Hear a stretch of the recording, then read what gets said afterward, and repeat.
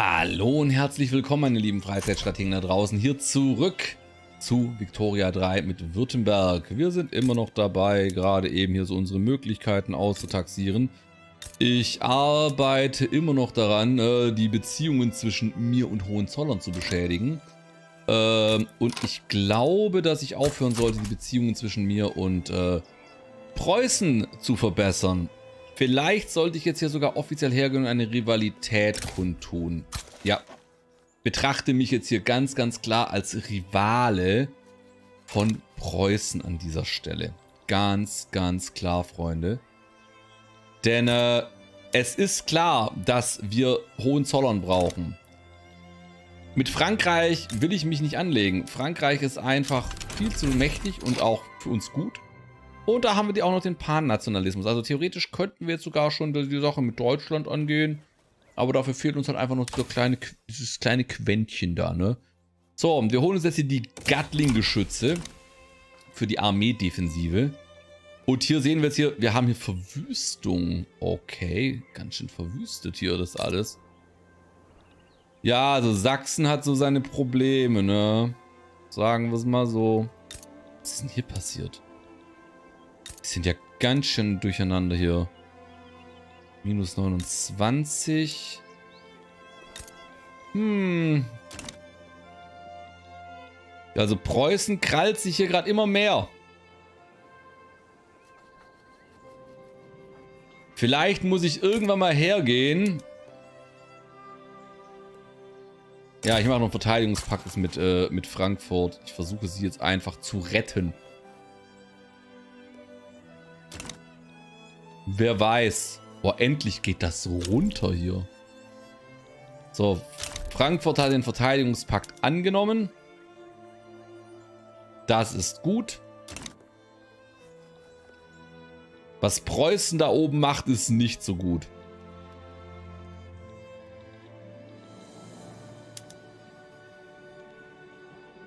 Tomaten ausweisen, aufhören, Beziehungen zu beschädigen.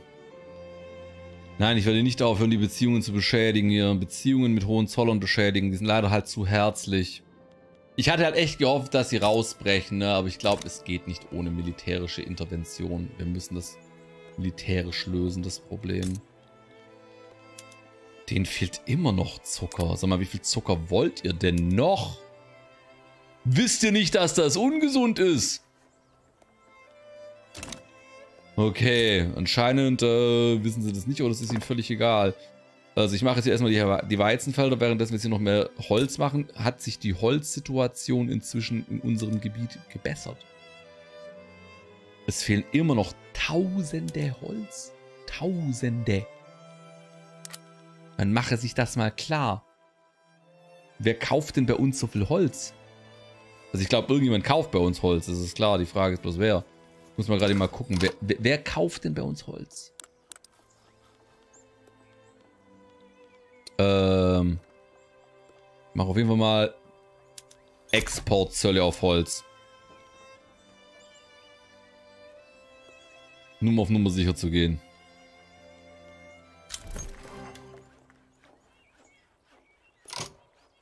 Die SDP hat sich gegründet. Die können nicht mal SPD schreiben. Wo soll, wohin soll das führen? Äh.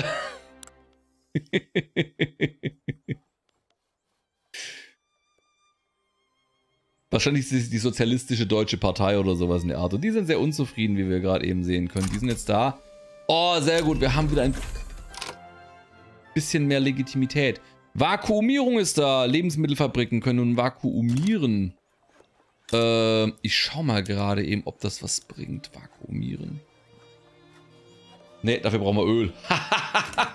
das alte Ölproblem ist wieder da. Da bin ich ja sehr gespannt, wie das gelöst wurde. Ähm, das könnte noch eine Diskussion werden mit dem Öl. Ich sag's euch.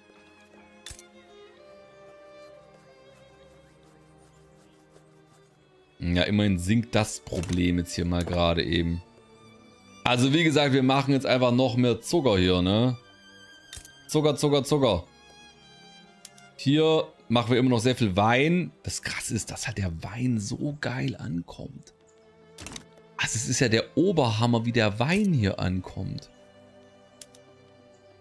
Es macht absolut Sinn, noch mehr Wein zu produzieren. Noch mehr Futter, was soll's?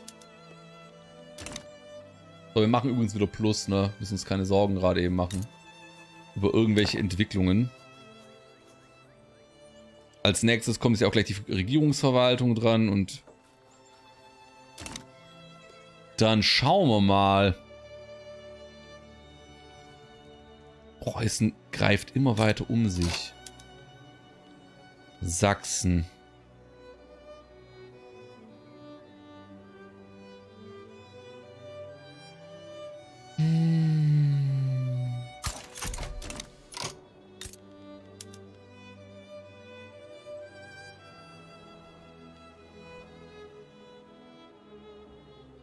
Demütigen. Da wäre Braunschweig und Hohenzollern dabei. Preußen hat 200, Österreich hat 300. Hessen-Kassel können sich dem Feind anschließen.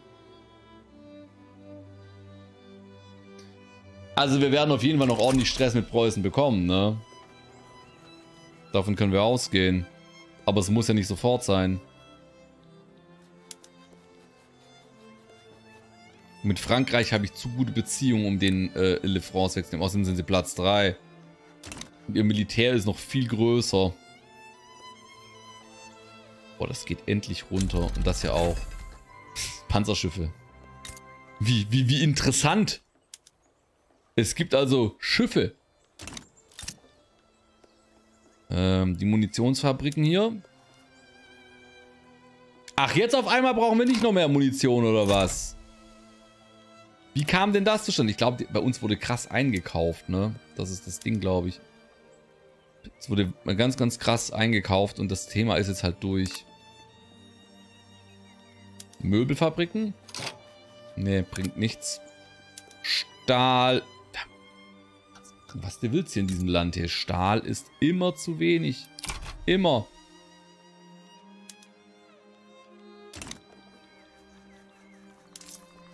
Ja, jetzt haben wir wieder das Ding mit der Regierungsverwaltung, deswegen gibt es hier auf einmal nicht mehr so viel Investmentfonds. Das muss alles der Staat berappen. Die antialkoholische Politik einer Partei der Fortschrittspartei schadet ihren Erfolgsaussichten bei der Wahl, da durstige Wähler in Scharen zu einer anderen Partei der SDP strömen. In der Hoffnung, dass ein Regierungswechsel auch die Politik der Mäßigung im Land ein Ende setzen wird.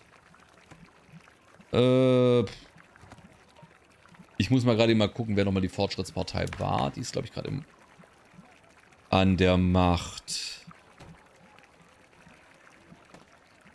Tja, die sind gerade sehr unzufrieden. Die sorgen dafür, dass die Arbeitnehmer sehr unzufrieden sind. Die sind für Eigentumsrecht, für Migrationskontrollen. Sie sind dagegen, dass es keine soziale, dass sie sind dagegen, dass es Kinderarbeit gibt. Sie sind gegen kein Gesundheitssystem. Sie sind gegen Kopfsteuern. Sie billigen Interventionismus. Äh, ich will denen das Momentum nicht wegnehmen. So, wie sieht es eigentlich mit Gesetzen aus? Zensur. Ne, Versammlungsfreiheit hat zu wenig Unterstützung. Keine Sozialhilfe, das Armengesetz kann ich mir beim besten Willen nicht leisten. Migrationskontrolle lassen wir. Kein Gesundheitssystem. Private Krankenversicherung. Komm, wir diskutieren mal die private Krankenversicherung. Hauptsache, es gibt mal eine. Lasst uns das mal diskutieren.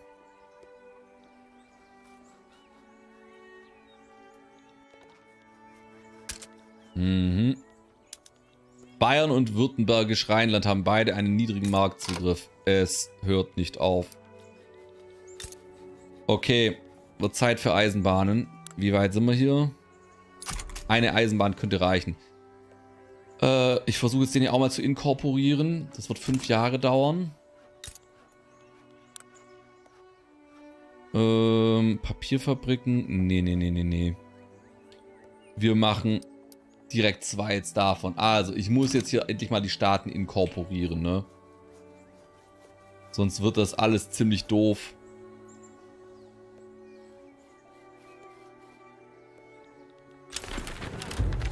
Und da ist eine Wahl gekommen. Eieiei, die Fortschrittspartei hat 73% der Stimmen bekommen. Okay, ich muss mal gerade mal gucken. Das hier ist das beste Ergebnis das wir wählen können. Die anderen sind kacke. Uffts. Industrielle und Intellektuelle zusammen. Besser wird's nicht.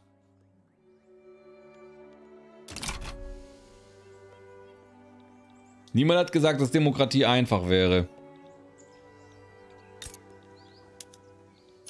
Wir schauen noch mal ganz, ganz kurz jetzt hier mal auf die Diplomatie-Linse. Es kann doch wohl nicht wahr sein, dass ich hier zu unserer Zollunion wechsle. Null. Geil. Schuldenübernahme. Sachsen. Würden sie aber nicht annehmen. Handelsverträge. Vereinigte Staaten. Aber das bringt mir doch gar nichts. ist halt echt witzig, dass es überhaupt da drin ist, ne? Bündnis. Ja, mit Österreich haben wir ja. Okay, Diplomatiespiele.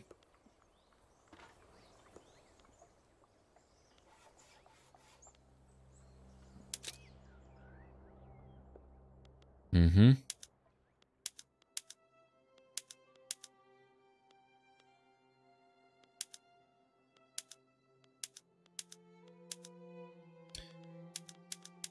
Es ist total wild, dass die überhaupt nirgendwo drin vorkommen.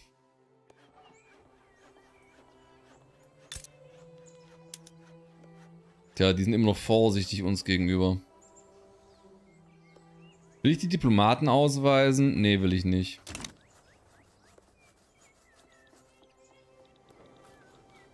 Ich warte immer noch nur darauf, dass ich endlich hier losschlagen kann. Kann aber einfach noch ein bisschen dauern.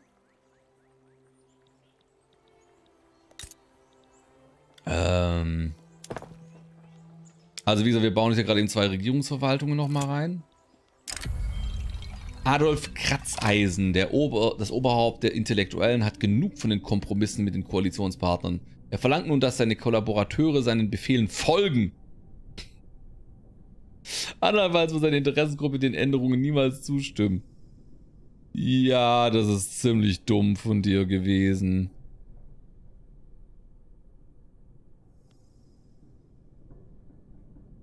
Ja, das, dann hast, dann haben wir halt weniger Zustimmung von ihm. Irgendwas ist ja immer. Die, also, kaum er der Macht und schon dreht er durch oder was, oder wie? Dummerweise wird er aber auch geliebt. Er wird halt auch geliebt. Das macht es für uns nicht einfacher.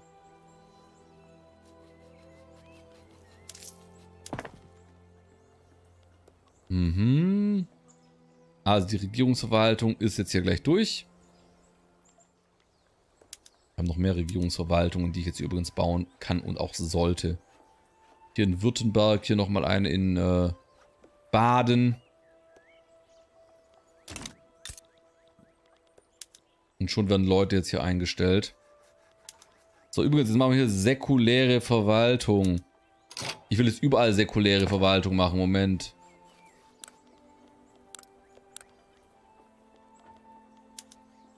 Da kann ich nichts machen.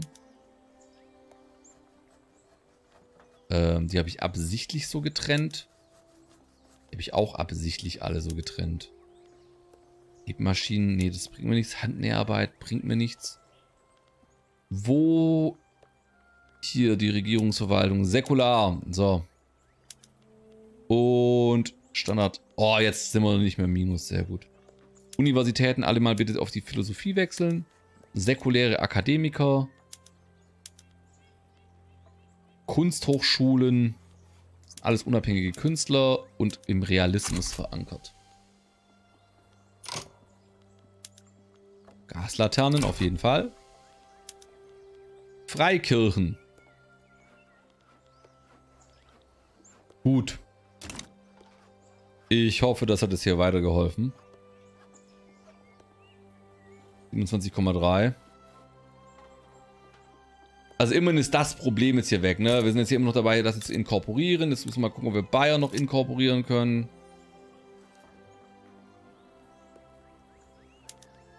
Machen wir jetzt mal. Da die Rufe nach einer Art Gesundheitswesen immer lauter werden, stellen viele in Frage, woher das Geld für ein solches neues System kommen soll. Manche haben vorgeschlagen, dass wir es einfach aus dem Steuertopf nehmen, wohingegen andere darauf bestehen, dass die Regierung die Kosten irgendwie anders decken muss.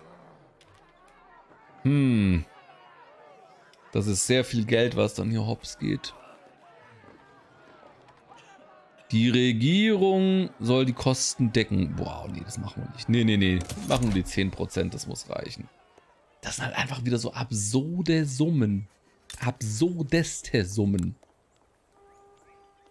Ähm, hier müssen auch nochmal zwei Regierungsverwaltungen schnell rein. Damit das hier ausgeglichen wird.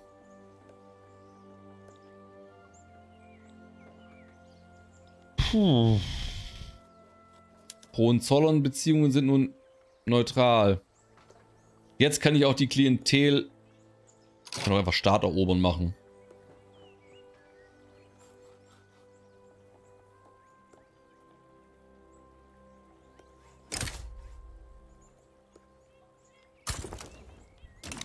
Zusammen mit Österreich, ja. Zusammen mit Österreich dürfte das klappen. Preußen ist da dann mit dabei. Kriegsziel hinzufügen. Vereinigungsführung. Ein anderes Land zwängt seine Ambitionen aufzugeben, eine Nation zu vereinen.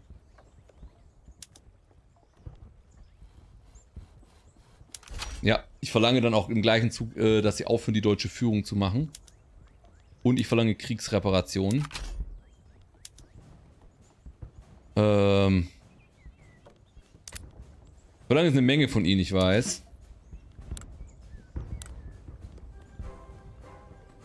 Alle Generäle mobilisieren. Steuern hoch. Nur für den Kriegsfall. Ich gehe jetzt mal nur leicht nach oben. So, wir haben hier eine Front. Da gehe ich mit der kleinen Armee hin. Die können dahin.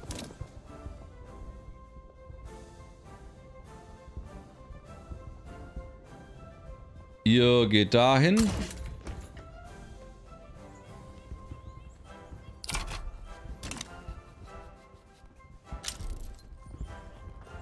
Preußen hat es Rivalität erklärt. Das haben sie ja früh gemerkt. Und so wie es aussieht, interessiert es kein anderes Land. Verunsichert. Preußen ist verunsichert. Äh, ich werde sogar jetzt meine Wehrpflichtigen reinballern. Hauptsächlich die von Württemberg, weil da haben wir eine Menge. Einfach um klar zu machen, ey, wir sind viele. Und dann werde ich nochmal einen weiteren General rekrutieren und zwar aus Süddeutschland. Ähm. Forscher, Hedonist, nein, Nachschub hartnäckig. Ich nehme ihn hier. Mobilisieren. Hier in die Defensive stellen. Russland stellt sich auf die Seite Preußens. Okay, das macht ein paar Dinge interessanter.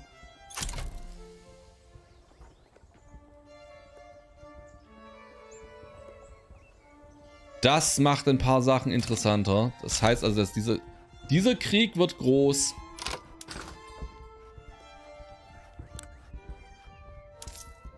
Ja, jetzt muss ich den Etat hier hochschrauben. Das hier ein bisschen runter. Armee-Machtprojektion nach oben.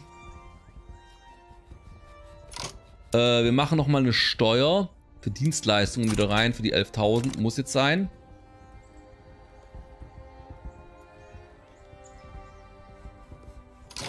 Okay, also wie gesagt, wenn, wenn die da mitmachen, ne, dann muss ich einfach alles rekrutieren.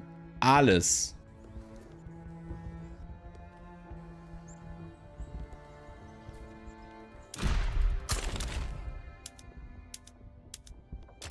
Tja, Russland bringt es wohl zur Eskalation hier.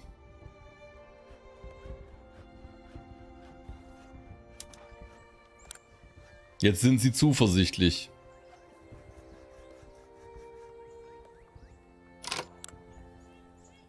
Das ist uncool.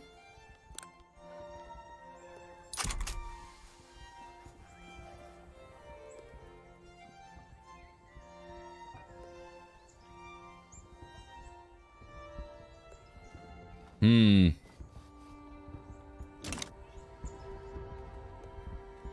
Wie sieht's eigentlich mit den Waffen aus?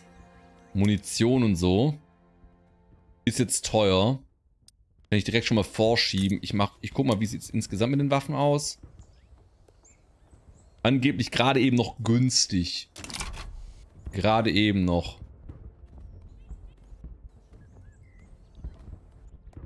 Da sind eine Menge Truppen jetzt hier am Start. Mehr Investitionen in Sozialhilfe, okay. Kann gut sein, dass das jetzt hier... Also das mit Russland ist jetzt echt, echt super unnötig gewesen, ne? Aber was willst du machen? Gut, also, Geschwindigkeit runter, der Krieg kommt. Wir werden nun Krieg um dieses kleine Hohenzollern hier führen. Einen riesigen. Zu den Waffen. Da oben rücken sie nicht vor. Hier rücken sie anscheinend vor. Da kann man noch nicht sagen, wohin es geht. Hier rücken wir vor.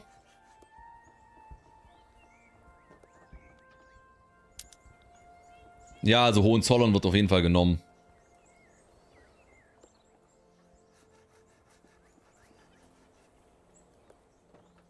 Also den Teil schaffen wir auf jeden Fall spielend. Jetzt versuchen sie es hier.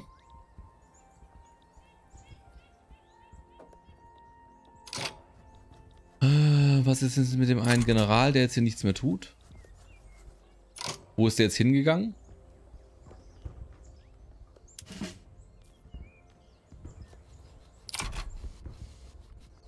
Verteidigt Pommern, verteidigt Rheinland. Offensive Rheinland. Okay.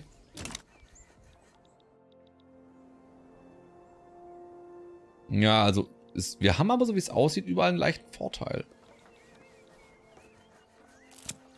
Einen leichten Vorteil wir haben.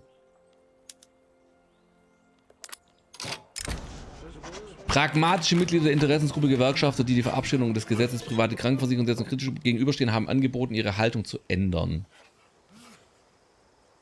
was die Industriellen nicht gut finden. Wie, wie steht es denn um die Industriellen? Ist mir das Gesetz so wichtig?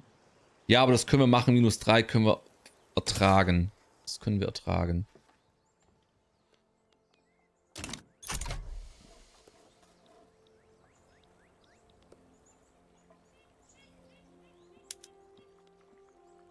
Tja, hier haben jetzt leider die Österreicher verkackt.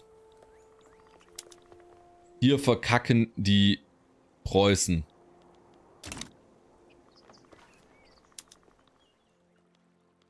Also wir haben auf jeden Fall das, was wir schon mal haben. Hohenzollern erobern. Ne? Das ist eigentlich das Ding, was mir wichtig ist. Alles andere ist nicht ganz so wichtig. Hier knüppeln wir, so wie es aussieht, die Preußen nochmal zurück. Das Gute ist, in der Defensive stehen ist ja immer von Vorteil.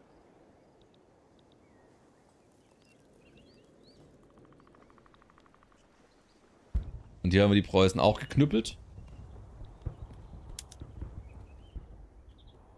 Ich kann gerade eben nur schwer sagen,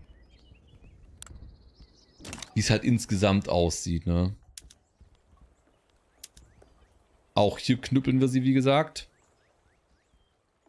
Ja, okay, die Verluste Preußen sind aber auch gewaltig, viel höher als unsere.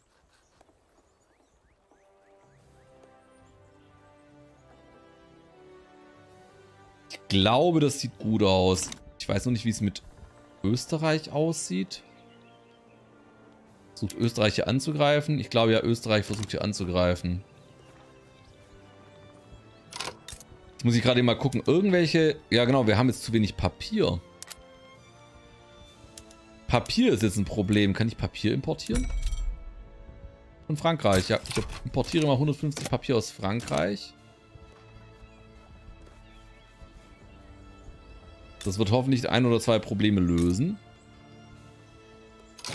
Papierfabriken, da fehlt jetzt Schwefel. Ich muss auch Schwefel importieren. Aus dem französischen Markt.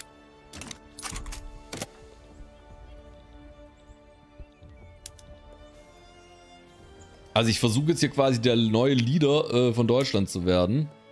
Oh.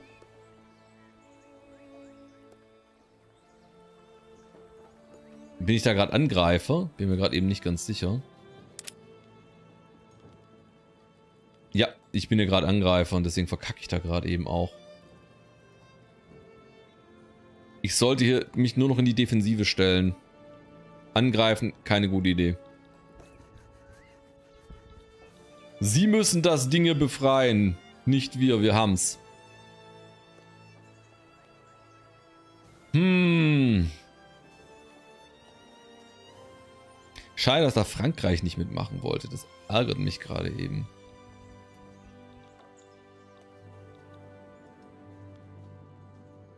Ja, wie gesagt, das war jetzt ein unnötiger Los hier.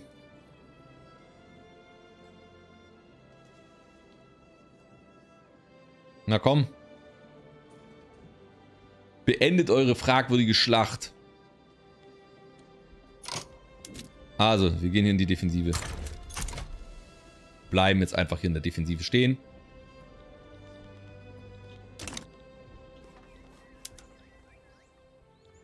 Da hauen wir sie gerade wieder zurück.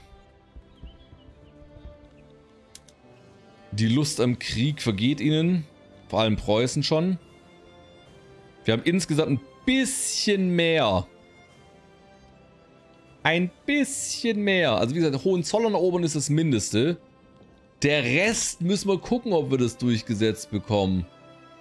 Das ist halt ein Kampf, der halt krass auf Augenhöhe stattfindet, ne? Da macht halt keiner mit, weil ich halt selber eine Großmacht bin, glaube ich. Das ist das Ding. Deswegen fühlt sich da kein anderer zuständig.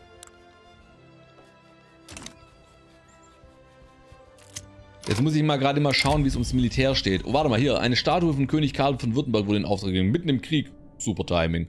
Äh, und hat uns vorgeschlagen, es in Baden aufzustellen. nee, das machen wir nicht. Das machen wir nicht, das machen wir nicht, das machen wir nicht. Wie sieht's aus mit der Munition?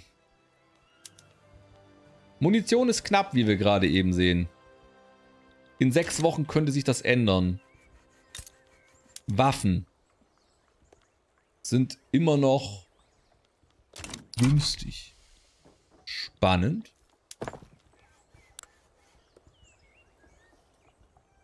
Also die Eisenbahn äh, ist gleich fertig in Bayern. Munitionsfabrik wird halt noch wichtig. Hier findet gar kein Kampf mehr statt. Wir wollen sie gar nicht mehr angreifen. Oh, hier greift jetzt Österreich an. Sogar, so wie es aussieht, sogar mit Erfolg. Okay, das ist genial. Hier ist, äh, gegen Russland ist Österreich klar im Vorteil. Gegen Preußen not so much. Eieiei. Wow, was ist denn das hier für ein Push? Von Russland. Wenn wir halt hier äh, vorrücken würden, ne? Wir würden halt dafür sorgen, dass Preußen hier mittelfristig verliert. Im Sinne von, dass sie dann halt komplett weg sind auf dieser Seite. Und wir, dann würden sie diese Armeen alle nicht mehr haben und wir könnten unsere verlegen. Aber die Kriegsbegeisterung Preußens sinkt sowieso schon.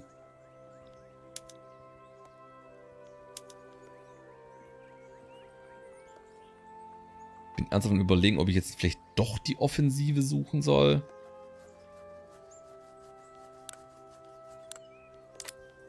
Ich bin mir unsicher. Probier's. So, wir haben die Gesetzeshüter wieder, Gesetzeshüter wieder erhöht. Also, wir sind jetzt hier definitiv auch in der Offensive. Jetzt erstmal wieder im Nachteil. Warum weiß ich nicht. Da war ein Sieg. Das war gut. Jetzt haben sie wieder mehr Truppen. Jetzt kommen sie wieder. greifen uns an. Oh, da sind Russen. Wo kommen diese Russen her? Wie kommen die dahin? Okay, also die russische Armee, wie, ihr seht, ne, die, ähm, ja, russische Armee. Und der ist nicht so viel zu erwarten. Auch hier gewinnen wir. Was haben wir hier? Landwirte in Bayern haben die Regierung appelliert, weil sie von ihm äh, verwendeten Werkzeuge so gefährlich sind. Sie möchten eine Art von Gesundheitswesen, um ihr Leid zu mindern. Tja, konzentrieren wir uns auf den, auf den Ausbau des Gesundheitswesens. 40% Erlasserfolgschance.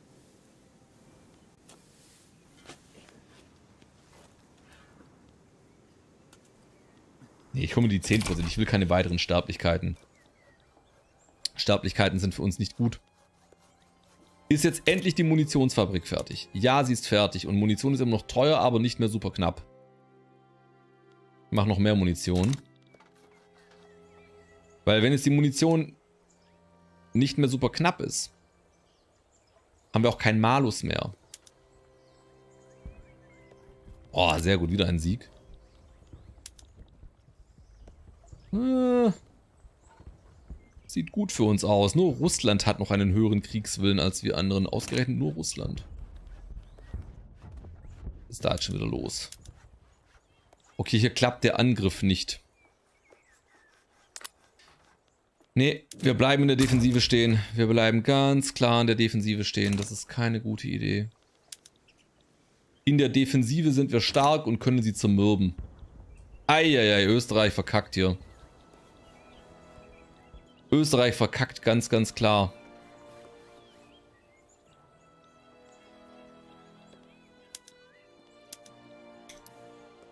Okay, Leute. An der Stelle machen wir mal einen Cut nach dieser Schlacht hier. Ich bedanke mich bei euch für eure Aufmerksamkeit. Dieser Krieg hier ist sehr, sehr wegweisend und sehr, sehr knapp. Und äh, ein, wir sind ein bisschen in Gottes Hand, wie man so schön sagt in dieser Situation, ne? weil wir dagegen nicht viel tun können. Was jetzt hier gerade eben passiert. Wir können nur damit leben, wie er ausgeht. Danke für eure Aufmerksamkeit. Macht's gut, bis zum nächsten Mal. Schöne Zeit. Autschen. Tschüss und Ade.